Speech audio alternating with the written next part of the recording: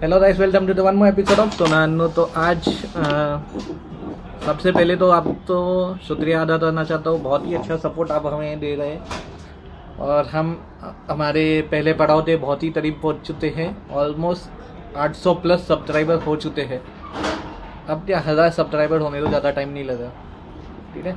सो पहला पड़ाव almost cross हो चुका है। थैंक यू इतना अच्छा हमें सपोर्ट और प्यार देने तो इसी तरह आपका सपोर्ट बनाए रखें। तो जैसे ही हज़ार सब्सक्राइबर ऑन होते सब तो पता ही है मोनेटाइजेशन ऑन हो जाता है, उसके बाद तो सब तो पता है, पैसा मिलता है, पैसा। तो बस इसी तरह सपोर्ट बनाए रहते और भी अच्छे अच्छे वीडियो हम लाते रहे। थे तो दा आज हम आपसे थैंक यू भी बोलने आए हैं, और एक हम, हमने अपना इंस्टा अकाउंट भी ऑन किया है।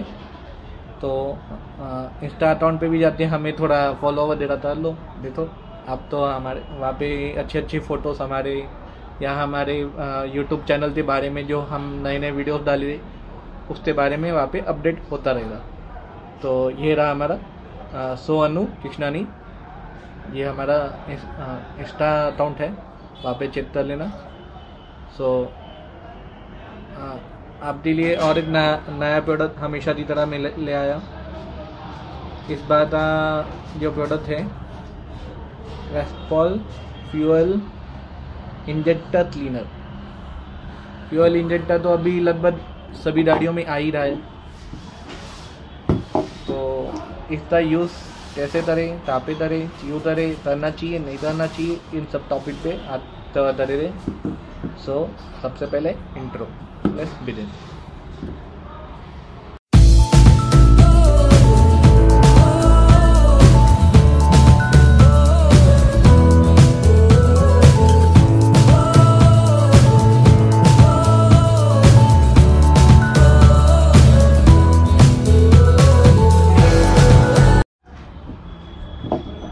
हाँ सो गाइस तो ये अभी मेरे हाथ में है वेस्पॉल फ्यूल इंजेक्टर क्लीनर तो ये बेसिकली अभी जो नई बाइक आ रही है, दो टाइप में कॉमन सी आती है। एक कार्बोरेटर की आती है, एक फ्यूल इंजेक्टर की आती है।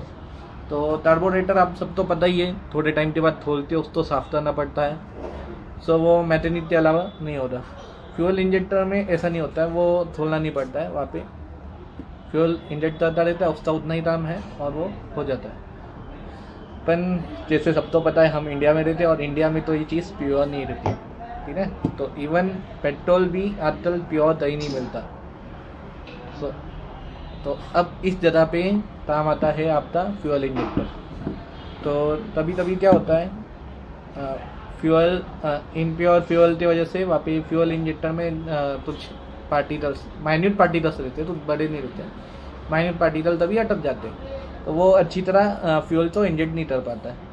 अब फ्यूल इंजेक्टर अभी खुलता भी नहीं है, इसलिए हम देख भी नहीं पाते, वो अच्छी तरह काम करता है या नहीं करता है, ठीक है? तो इस जगह पे रोल आता है फ्यूल इंजेक्टर का। तो फ्यूल इंजेक्टर अपना काम करता है, जैसे कि पेट्रोल या डीजल में, जो भी आपका डीजल में भी यही प्रोडक्ट चलेगा पेट्रोल में भी यही प्रोडक्ट चलता है। सो इट इज़ बेसिकली ये जो पार्टिकल्स रहते हैं, उन तो थोड़ा कर देता है, नीचे बिठा देता है। तो उसकी वजह से वो अंदर पाइप में जाता ही नहीं है फ्यूल इंजेक्ट होता ही नहीं है तो वो टैन में ही रह जाता है। बेसिकली इसका काम ये है, सरल भाषा में। बाकी अगर वहाँ पे नोज़ल में भी अगर तो चटक जाता है तो वहाँ पे भी वो क्लीन रख देता है वैसे फ्यूल से होते वो निकल जाता है कचरा तो मीन्स जैसे ही आप पेट्रोल भराते हो समझो आपने टैंक फुल कर दिया इसके दो ढक्कन डाल दो। आपका जो भी पेट्रोल में इम्प्योरिटीज है, वो नीचे जाते बैठ जाएँगे आपको प्योर पेट्रोल सप्लाई होता रहेगा इंजन में। तो इस तरह ये काम करता है प्योर पेट्रोल आपको इंजन में सप्लाई होता रहेगा और इंजेक्टर में इशू नहीं आएगा। इन केस कुछ पार्टिकल इंजेक्टर तक पहुँच भी रहे हैं तो ये वहाँ पे उसको साफ़ कर देगा और वो इंजेक्टर के थ्रू निकालने को उसको हेल्प करेगा। तो बेसिकली ये इसका काम है।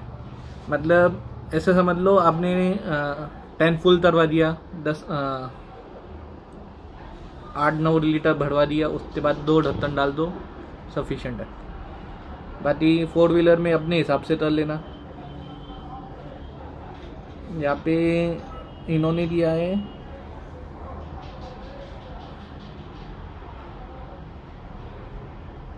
एट लीटर में पचास एम का इनका फॉर्मूला है।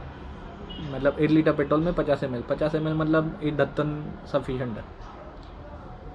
ठीक है?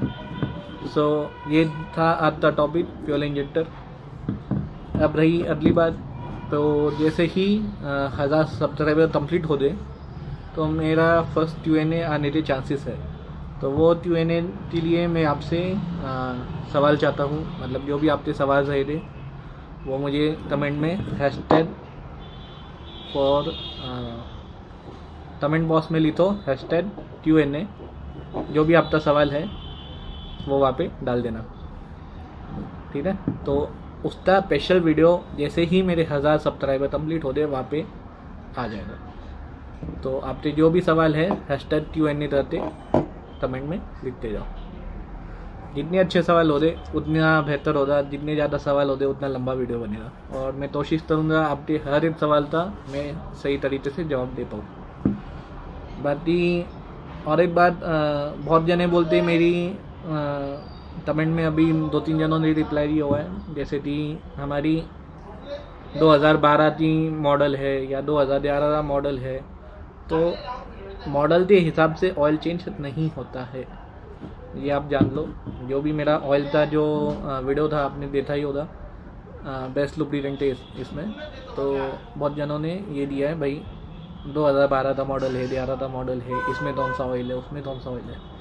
मैंने, मेरे, आपके हर एक सवाल का जवाब वीडियो में दे चुका हूँ। अगर आप वीडियो अच्छी तरह देखो दे आप तो आपके सवाल का जवाब मिल जाएगा। ठीक है?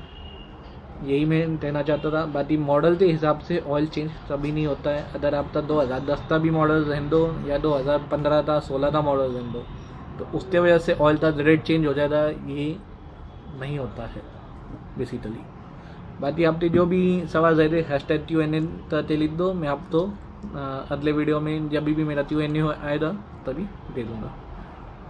और वापस से थैंक यू बहुत अच्छी तरह आप मुझे सपोर्ट कर रहे हैं, आगे भी सपोर्ट करें। थैंक यू फॉर वॉचिंग सोना बाय